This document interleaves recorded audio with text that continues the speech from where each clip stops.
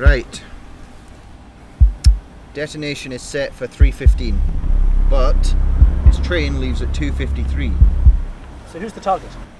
David Rachman, MI6. This is his son, Paul. He's due to meet his dad later today on a train to London. We plant the bomb on the son. Come 3.15, the pair of them combust. Actually, it's ticking. Yes. Bombs tick. No, no. See, actually, this specific bomb is not meant to tick because we need Rachman's son to not know that he's got it with him. So, unless by some miraculous chance he's just bought a pocket sized grandfather clock, you might find it a little bit suspicious when he hears his sodding rucksack ticking.